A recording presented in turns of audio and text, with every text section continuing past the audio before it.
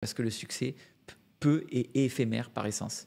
Euh, Après, on dit qu'il arrive du jour au lendemain, entre guillemets, alors que pas du tout. C'est-à-dire que c'est. Non, euh, ça arrive jamais du jour au lendemain. Bah c'est, des, des, séquences. Et le deuxième point qui me semble euh, très important par rapport au succès, donc le premier point, c'est de toujours cash out. Et pourquoi c'est important de cash out? Parce qu'au moins tu comprends pourquoi tu fais ça. C'est que ce cash out, c'est là où pour moi il faut aller dans des valeurs refuges. Tu achètes des immobiliers, tu pars en vacances, tu te fais plaisir, quels que soient les plaisirs, mais au moins tu sais pourquoi tu travailles.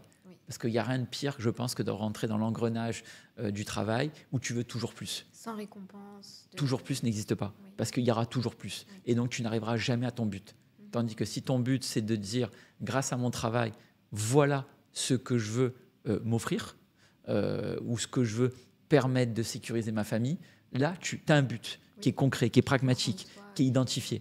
Qui est, si c'est une maison, cette maison, elle a un prix. Si c'est un voyage, ce voyage, il a un prix. Ça se calcule. Si c'est financer les, voilà, les études des, enfants parce que tu veux qu'ils fassent des grandes universités, ça a un prix.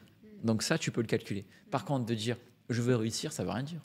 c'est une aberration. Moi, quand je vois des gens, parce que euh, je continue à faire un peu de, de, coaching et de conseils euh, juste à titre personnel, parce que ça, j'aime. Family office un peu, c'est ça qui te. Non, euh, non family office, non, parce qu'aujourd'hui, je gère mon propre, mon propre patrimoine, mais à travers mes sociétés, mhm. parce que j'investis d'abord dans mes sociétés sur fonds propres, je teste avec mon argent,